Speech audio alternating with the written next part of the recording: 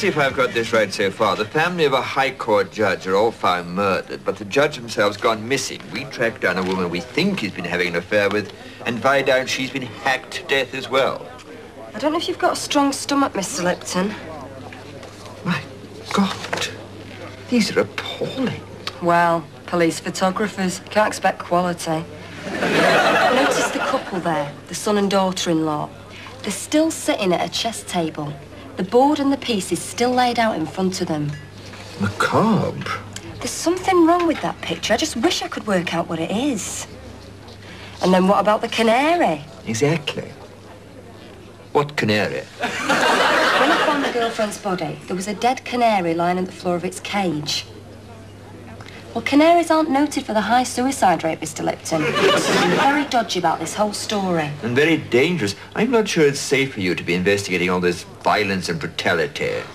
I've covered Labour Party conferences. I'll manage. I've got a meeting with Mr. Rathbone now. Well, stick with it for the moment then, Maggie. I'm hoping for a good, honest story from this in the end. God knows we need one.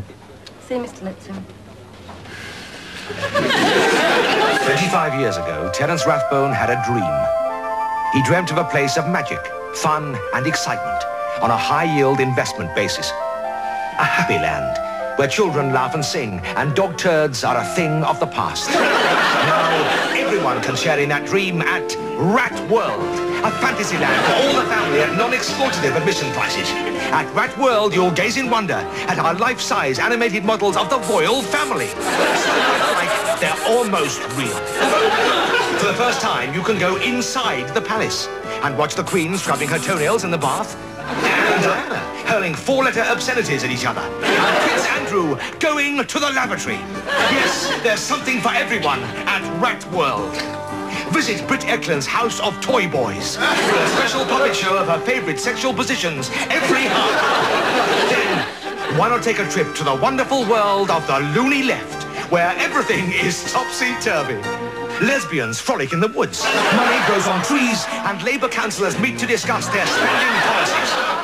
Yes, Rat World, for a dazzling day out amid nature's miracles, near Fordingbridge in Hampshire, formerly the New Forest.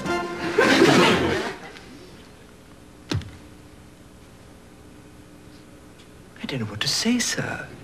I mean, the New Forest used to be home to deer and ponies. Conservation of the local fauna was our top priority, Dickie. We had them all skinned and turned into robots. Extinction becomes a thing of the past. But all these shows and attractions, this is everything you hate. This is what we're trying to eradicate in the Crucible, isn't it? Yes, of course it is. Oh, you shouldn't have had Russell Spam on board as creative advisor. Still, warts can be ironed out. I didn't build Rat World as the ultimate in tacky commercialism. I built it as a monument for the nation. I'm sorry. I cannot endorse it in its present form, and I cannot publish these adverts in the Crucible. Now, uh, excuse me, I have urgent things to attend to downstairs. Yes, well, uh, good morning, Mr. Rathbone. Yes, Dickie. Good morning.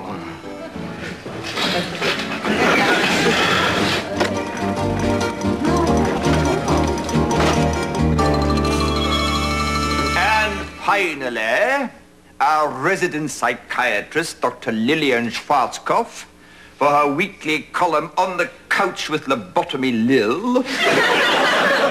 Dear Lil, I have just undergone the distressing experience of a mastectomy. It has left me totally shattered and unable to cope with life anymore. Lil replies, Cheer up, lovey, and keep your pecker up. okay, so you're a knocker down on most women, but you're still one up on Marti Caine. Your contracts all expire at the end of the month. They will not be renewed. Go on, out, all of you. And now, Kettle. Firing is too good for a man whose mission to El Salvador as political correspondent resulted in a horse being sawn in half. I am therefore demoting you to the lowliest rank possible in a national newspaper As from now, you are show business editor. Ah. Really, Mr. Lipton, are you sure? Not another word, Greg. Out. I've got a lot to do. Greg, what's going on? What was all this? Morning, Dickie. Have I missed the fun and games? Just a spot of vermin control, Russell. Talking of which brings me to what must be one of the greatest single mysteries in modern civilization. Who is it that writes the captions for the page three girls? Oh, sorry, Dickie. What species of deformed mutant could sit down and compose lines like these? Cockney Corker Susie Tompkins, 17, is a real brainy beauty. She's got an O level in geography. well, fellows, we know one thing. Her contours have certainly put her on the map. A tree died for this, Russell. Look at her. She's a lump of plastic with teeth. The women here are just about as real as the robots in Rat World. Well, as from now, they're out. There will be no more topless girls in this newspaper. What?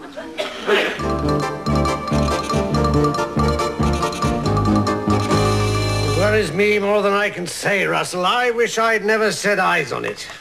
Dickie Lipton's old medical records. As a young actor in rep, he suffered a severe nervous breakdown brought on by the pressures of playing King Lear and Widow Twankey on alternate nights. he made a complete recovery, of course, and has been in perfect mental health ever since. Nevertheless, Russell... Well, you got me worrying as well now, sir. Now, who's to say that uh, further emotional stress, fatigue and confusion might not once again uh, push him over the precipice into the twilight zone of madness? Script A50 brings us up to week 46, which is one of yours, Tony. Then Gillian's, in which we finally discover the identity of the child's father. Any points, anyone? Yes. I'm not very happy with the master storyline, I'm afraid, so I've drawn up a few changes. In the first week's episode, Angie kills herself with a meat cleaver. After her new lover goes off with Kenny Everett. and Dot Cotton becomes pregnant. After Libyan gunmen occupy the local laundrette. Following an invitation from the left-wing council. Also, I've rejigged your script for tomorrow, Jonathan. I- The man who gave me the new script pages to type up. All right, come on. You've no right to be in here. But I presented my documentation at the gate. I told you, possession of a BBC licence does not grant you the right to direct programmes. Let me go. This is trial by television. Hope the information I've given you will be of use in fathoming out this grisly affair at number 15. Oh, I'm sure it will. Thanks. And I've really enjoyed our three-hour discussion. Of course, But I think... incidentally, some of the other reporters who've interviewed me thought I was a little bit strange. Yeah. yeah? But just because you saw a Yeti going into a house? Very valuable eyewitness I'm not certain it was a Yeti. It was very dark at the time. It, it could have been a Yeti or Bigfoot, as it's colloquially known. or indeed some other gigantic species of ape-related extraterrestrial from another world, say Jupiter or Uranus. It was very large with huge lumbering feet. Feet. Terrific. Well, thanks for the leaflets. And, uh, Incidentally, if you did wish to know more about my strange sightings and discoveries, why not pop in one night to our local society? It's the South Peckham and District UFO and Intriguing Phenomena Society. Spadufoips. and my name's Pooley. It's P double O L Y Trevor Truly. the first evening I get free. OK, well, um, all the best then, and uh, thanks for information. Nice to have met you, Miss Troon. Oh, nice to have met you, Mr. Loopy. Russell, you're just trying to confuse me. It doesn't make sense. How can Dirty Den's cousin Susie be having an affair with a former Nazi war criminal? It's quite clear it's Greg's copy, Dickie. Man named uh, Jim Barnes. Yes, Jim Barnes isn't a former Nazi war criminal. Of course he is. What? Just because he played a Gestapo officer in a Lou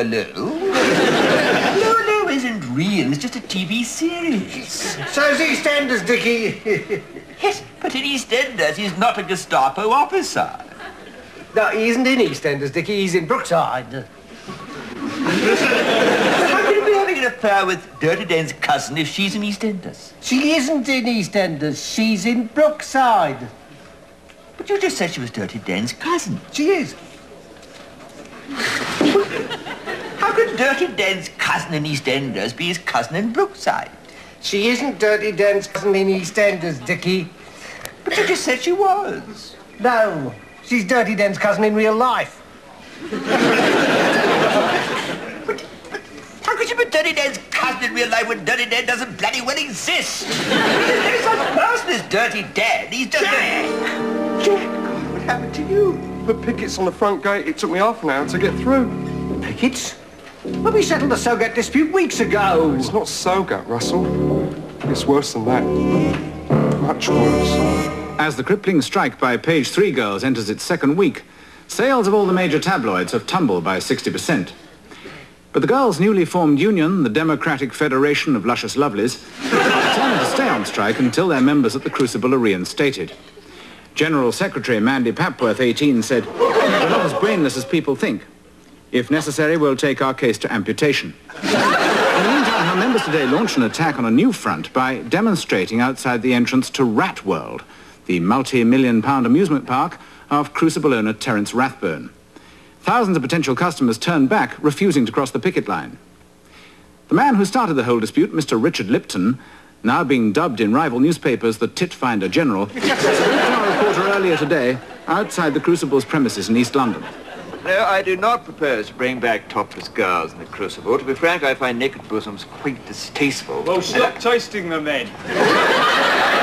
quite distasteful and an insult to women, and I intend to preserve and protect those values I hold most dear, the simple values of human dignity.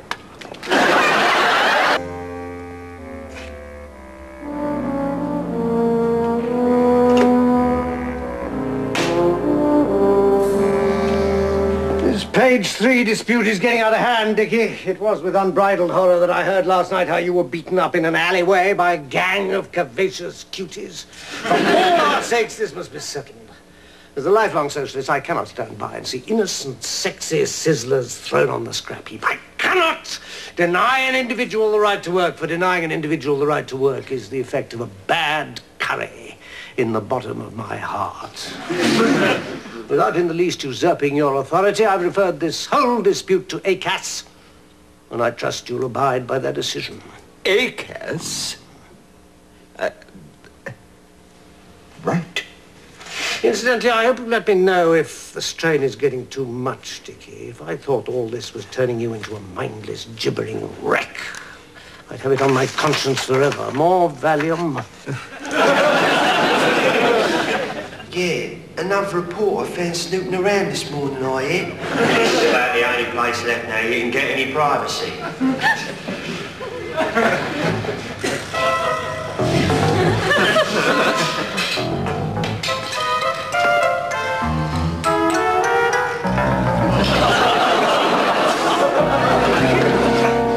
Uh, yes, I can confirm that a deal has been worked out in this dispute, and I've been asked to read the following statement.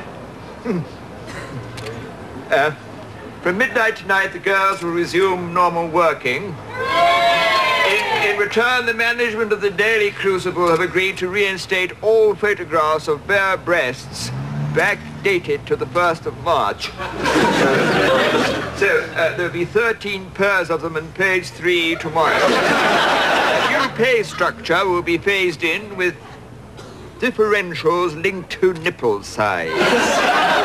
and for skilled and highly skilled models, those with more than one facial expression, there will be an incentive scheme involving Nik Kershaw's phone number. Thank you. Which one do you think, Dickie? Page three, pick strike spiked. Tit finder general dealt no blouse body blow as Dreamboat Dolly deal gives green light to press picks fleshpot jackpots. Pardon, Russell? Huh? Or, or this one. Chest flash chick fans cheer charter for cheesecake. Boob Iron Man in bust bear back down as no bra breastbird barbed bites dust. I'm sorry, Russell. I don't seem to be able to understand what you're saying to me anymore. Don't want to think, Jack. Trouble with the spread, Dickie? TV star that spills all in the first installment of her sizzling bonk and tell memoirs. Former actress Goldie Finch tells it like it is behind the scenes and between the sheets. Over the next week, I will reveal Blob. How I put on black suspenders for Friar Tuck. Blob. How I lost my virginity to a Dalek. Blob. How I was ravished at a showbiz orgy by Roland Rat and Orville the Duck. and ended up in a Soho nightclub snorting coke with sooty. Russell, you think I don't know what you're trying to do to me here? Think I can't see that all this is just to try and make me crack up?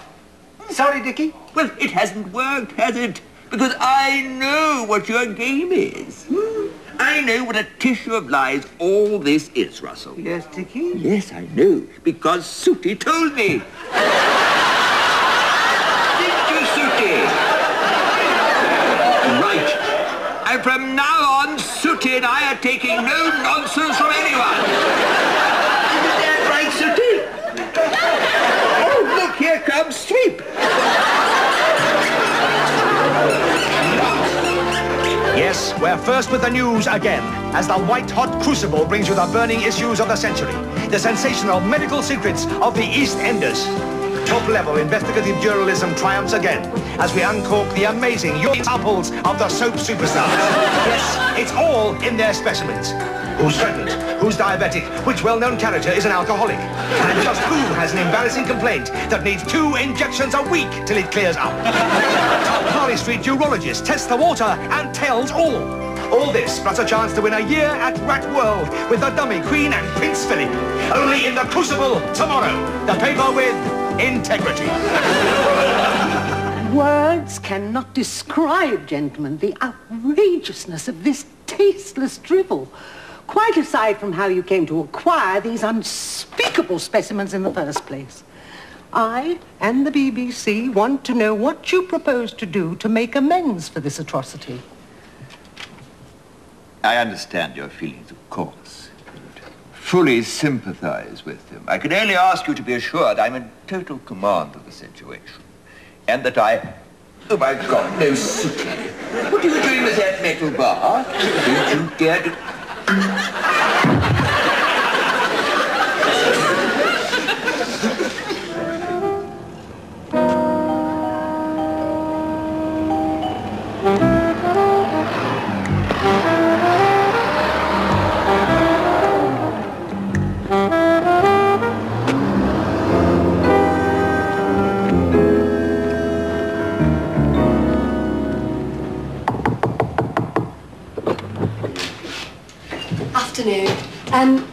I'm Maggie Troon from the Daily Crucible newspaper.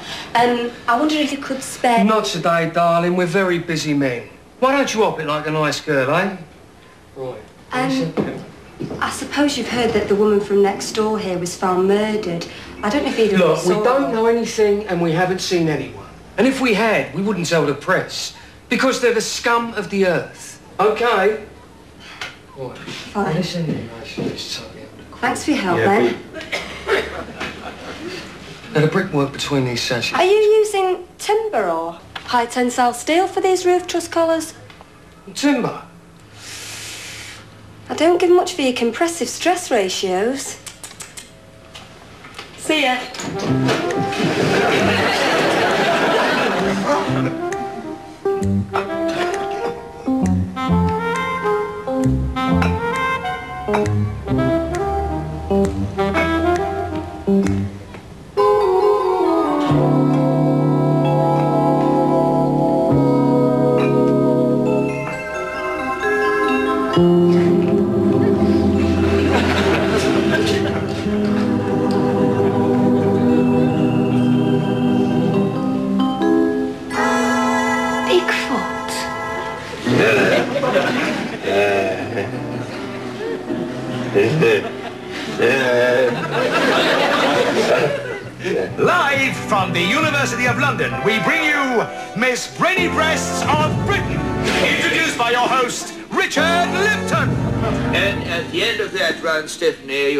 no points of any kind. Passed on 36. The letters USA stand for United States of America.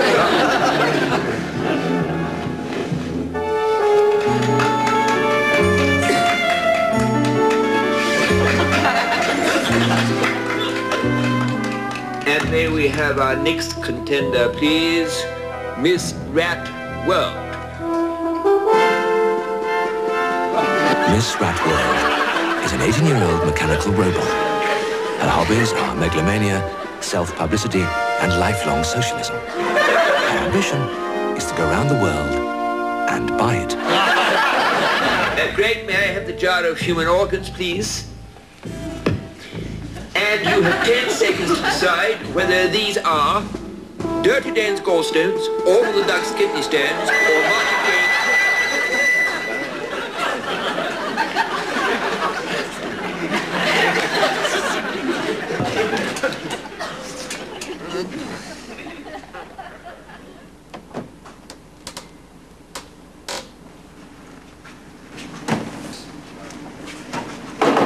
Now, once the glue Yes. you can paint the front of it any colour you want. This is one Yes. here that I did earlier. And I'm sure if your mummy got one of these for Mother's Day, she'd be absolutely thrilled to bits. And the good thing about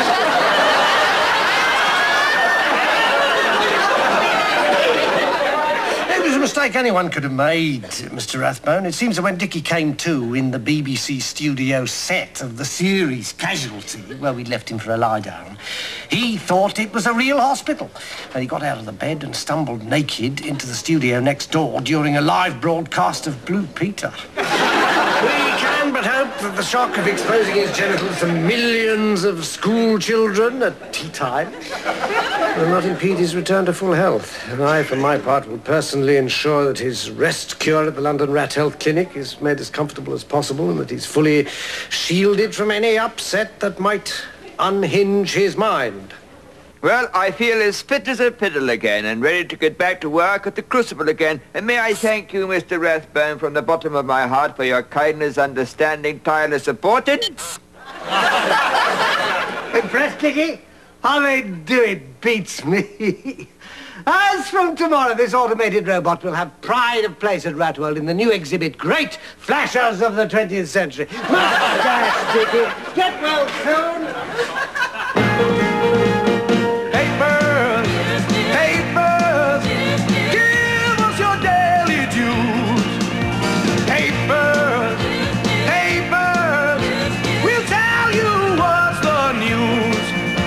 Page you'll find disaster, servant killing off his master, and a story with some sordid sex appeal.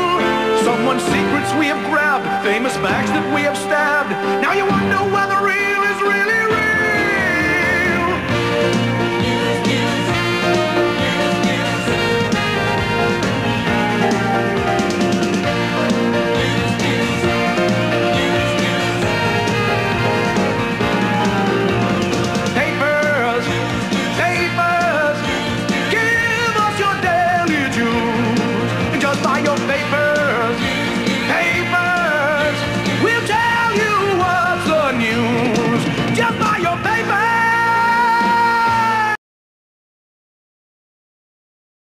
Susie Tompkins, 17, is a real brainy beauty. She's got an O level in geography. well, fellows, we know one thing. Her contours have certainly put her on the map. a tree died for this, Russell. Look at her. She's a lump of plastic with teeth. The women here are just about as real as the robots in Rat World. Well, as from now, they're out. There will be no more topless girls in this newspaper. What?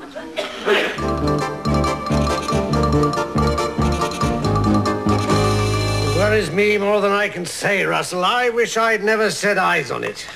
Dickie Lipton's old medical records. As a young actor in rep, he suffered a severe nervous breakdown brought on by the pressures of playing King Lear and Widow Twankey on alternate nights. he made a complete recovery, of course, and has been in perfect mental health ever since. Nevertheless, Russell... Well, you've got me worrying as well now, sir. Now, who's to say that uh, further emotional stress, fatigue and confusion might not once again uh, push him over the precipice into the twilight zone of madness? Script A50 brings us up to week 46, which is one of yours, Tony. Then Gillian's, in which we finally discover the identity of the child's father. Any points, anyone? Yes. I'm not very happy with the master storyline, I'm afraid, so I've drawn up a few changes. In the first week's episode, Angie kills herself with a meat cleaver. After her new lover goes off with Kenny Everett. Uh, and Dot Cotton becomes pregnant. After Libyan gunmen occupy the local laundrette. Following an invitation from the left-wing council. Also, I've rejigged your script for tomorrow, Jonathan. I- The man who gave you the new script pages to type up. All right, come on. You've no right to be in here. But I presented my documentation at the gate. I told you, possession of a BBC licence does not grant you the right to direct programmes. Let me go. This is trial by television.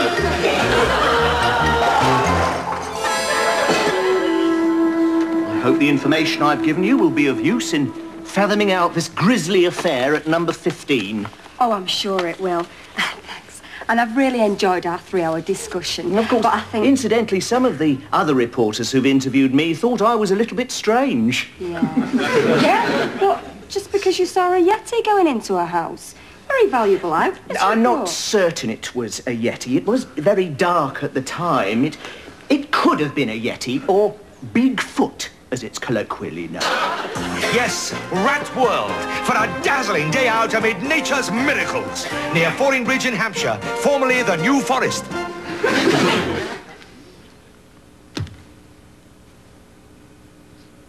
I don't know what to say, sir. I mean, the New Forest used to be home to deer and ponies. Conservation of the local fauna was our top priority, Dickie. We had them all skinned and turned into robots. Extinction becomes a thing of the past. But all these shows and attractions, this is everything you hate. This is what we're trying to eradicate in the Crucible, isn't it? Yes, of course it is. Oh, you shouldn't have had Russell Spam on board as creative advisor. Still, warts can be ironed out. I didn't build Rat World as the ultimate in tacky commercialism. I built it as a monument for the nation. I'm sorry. I cannot endorse it in its present form, and I cannot publish these adverts in the Crucible. Now, uh, if you excuse me, I have urgent things to attend to downstairs. Yes, well, uh, good morning, Mr. Rathbone. Yes, Dickie. Good morning.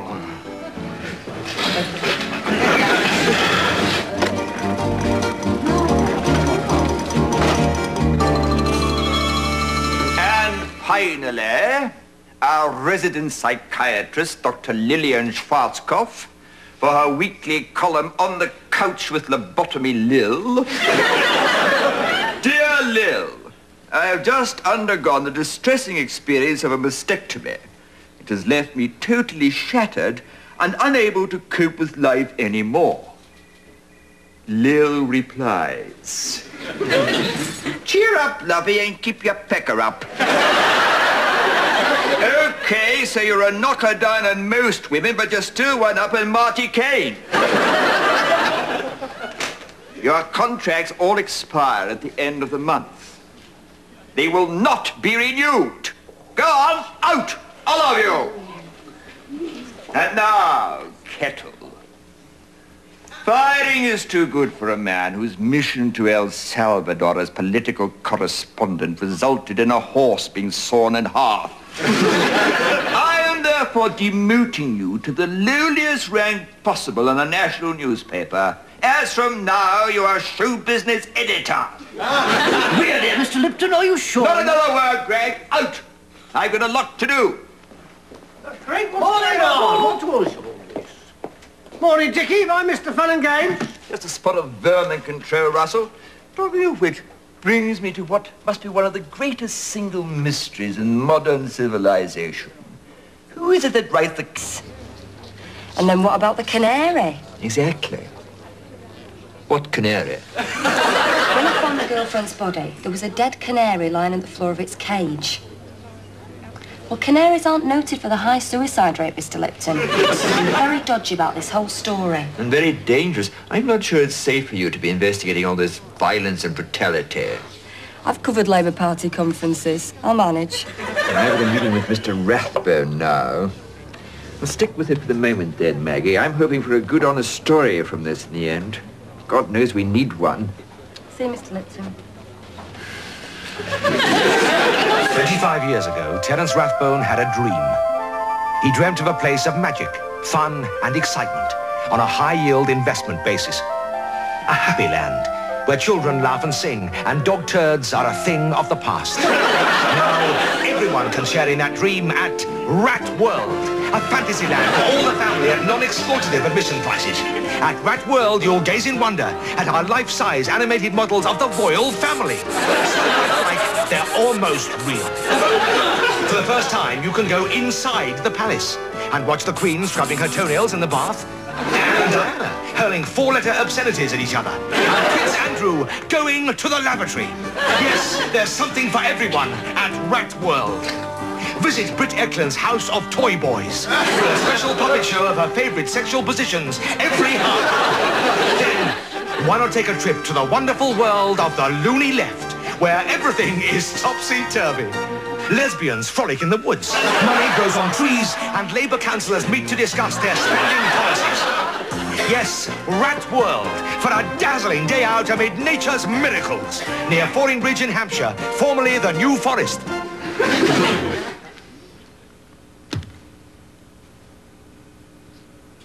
don't know what to say, sir. I mean, the New Forest used to be home to deer and ponies. Conservation of the local fauna was our top priority, Dickie. We had them all skinned and turned into robots. Extinction becomes a thing of the past. But all these shows and attractions, this is everything you hate. This is what we're trying to eradicate in the Crucible, isn't it? Yes, of course it is. Oh, you shouldn't have had Russell Spam on board as creative advisor. Still, warts can be ironed out. I didn't build Rat World as the ultimate in tacky commercialism. I built it as a monument for the nation. I'm sorry. I cannot endorse it in its present form, and I cannot publish these adverts in the Crucible. Now, uh, excuse me, I have urgent things to attend to downstairs. Yes, well, uh, good morning, Mr. Rathbone. Rathbone now. Well, stick with it for the moment then, Maggie. I'm hoping for a good, honest story from this in the end. God knows we need one. See Mr. Lipton. 25 years ago, Terence Rathbone had a dream.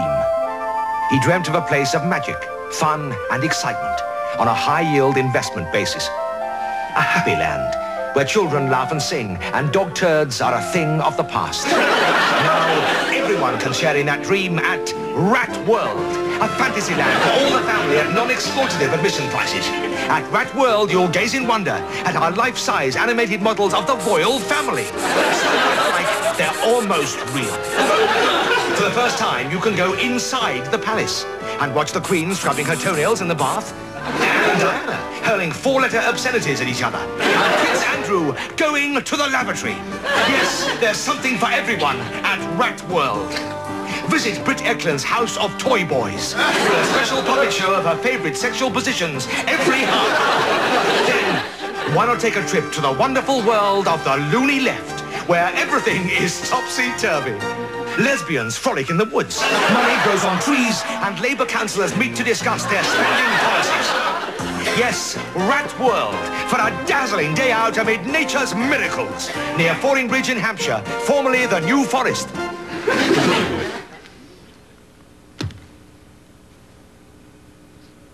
I don't know what to say, sir. I mean, the New Forest used to be home to deer and ponies. Conservation of the local fauna was our top priority, Dickie. We had them all skinned and turned into robots. Extinction becomes a thing of the past. But all these shows and attractions, this is everything you hate. This is what we're trying to eradicate in the Crucible, isn't it? Yes, of course it is. Oh, you shouldn't have had Russell Spam on board as creative advisor. Still, warts can be ironed out. I didn't build Rat World as the ultimate in tacky commercialism. I built it as a monument for the nation. I'm sorry. I cannot endorse it in its present form, and I cannot publish these adverts in the Crucible. Now, uh, if you excuse me, I have urgent things to attend to downstairs. Yes, well, uh, good morning, Mr. Rathbone. Yes, Dickie. Good morning.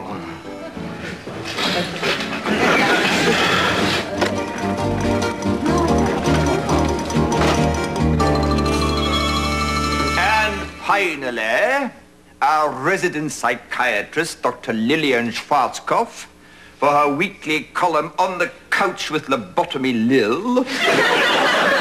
Dear Lil, I have just undergone the... Nature's cuties. For our sakes, this must be settled. As a lifelong socialist, I cannot stand by and see innocent, sexy sizzlers thrown on the scrap heap. I cannot deny an individual the right to work, for denying an individual the right to work is the effect of a bad curry in the bottom of my heart. Without in the least usurping your authority, I've referred this whole dispute to ACAS, and I trust you'll abide by their decision. ACAS? Uh, right. Incidentally, I hope you'll let me know if the strain is getting too much, Dickie. If I thought all this was turning you into a mindless, gibbering wreck, I'd have it on my conscience forever. More Valium. Yeah, another reporter found snooping around this morning, I hear. This is about the only place left now you can get any privacy.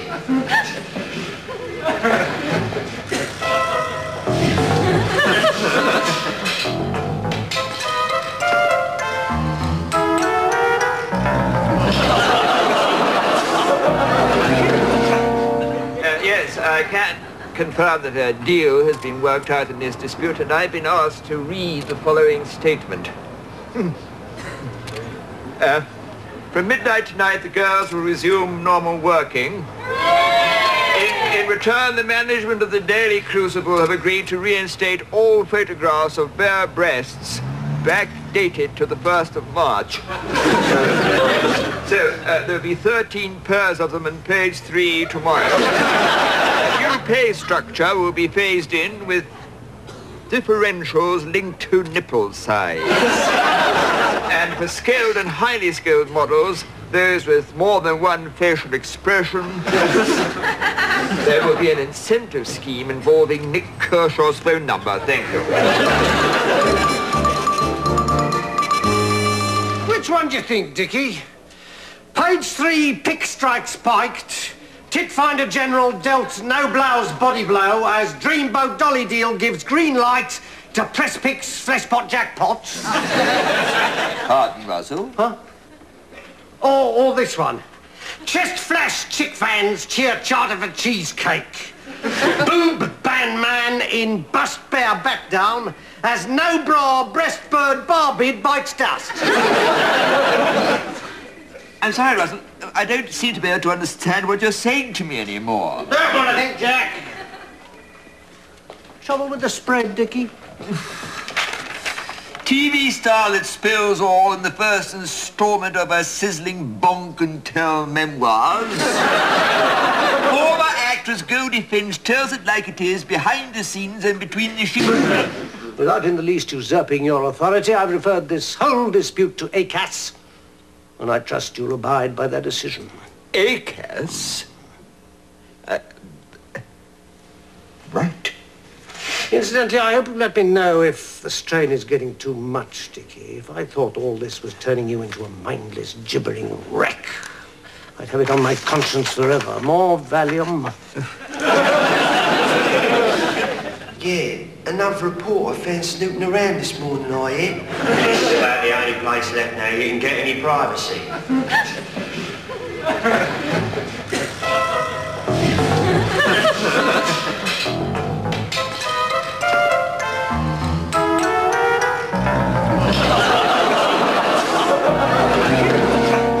Uh, yes, I can confirm that a deal has been worked out in this dispute, and I've been asked to read the following statement